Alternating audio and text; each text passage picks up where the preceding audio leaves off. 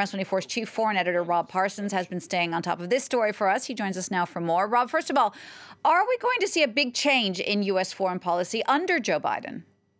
Well, I think we'll certainly see a, a change. The semantics will definitely be, be, different, and we won't see the sort of mercurial, unpredict, unpredictable, sometimes completely inexplicable approach uh, that Donald Trump manifested in his relationship uh, with Vladimir Putin. We'll go towards something which is much more stable, much more of a traditional defense uh, of US foreign policy interests, whether that's defending values or whether it's defending alliances. Uh, and already we've seen uh, Joe Biden put forward a pretty strong list of complaints to Vladimir Putin. Uh, you mentioned some of them there, uh, in- including this cyber spying, uh, the SolarWinds attack uh, in 2020 on the United States, which some suspect could still be ongoing. the offering, alleged offering by the by Russia to the Taliban of bounties to kill American soldiers in Afghanistan, uh, the interference in the U.S. election of 2016.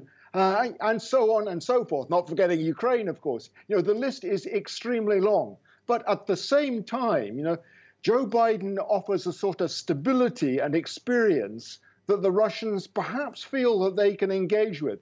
Don't forget, this is a man, Joe Biden, who's been going first to the Soviet Union uh, and then to Russia since 1978. That gives him an immense amount of experience. And the Russians see him as a, a known entity. They, they pretty much know what to expect from him. And they, I suspect, rather like the predictability that he brings with him. Hence the very quick agreement on the New START treaty. Uh, Vladimir Putin put it to the to the State Duma, the Russian parliament. Uh, I think yesterday, today, it's already been passed by the State Duma in its first reading. It's got to go to the Federation Council, the higher chamber. Uh, but already that's progress on something which had suffered badly in the four years of Donald Trump. Rob, what about human rights? Joe Biden spoke to Vladimir Putin about the Russian opposition leader who's now been arrested again, Alexei Navalny. Can we expect the U.S. to be more aggressive on that issue?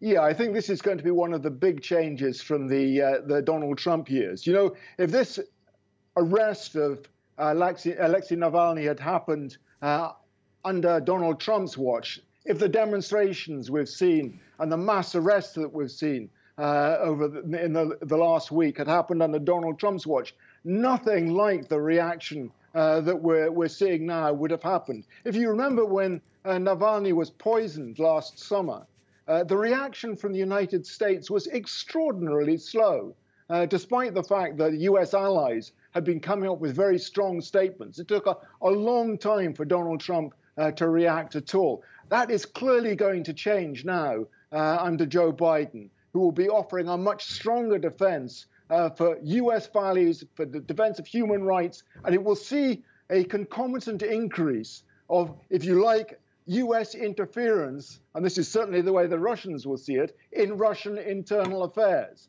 But in a way, too, Vladimir Putin only has himself to blame for doing this by allowing the, uh, and it's almost universally accepted that this is what happened, the Russian intelligence services to poison Navalny and then to arrest him when he back, came back to Moscow a couple of weeks ago. He's propelled Navalny right to the center of international politics. He's made him effectively uh, the leader of the opposition in the eyes of the international community. And suddenly, uh, this reminds me of Ale- uh, Alexander Solzhenitsyn. I'm not suggesting that Navalny has anything like that sort of moral stature, but in the perception of the West, of Navalny, it certainly has had that sort of effect. And neither Biden nor Putin can ignore that.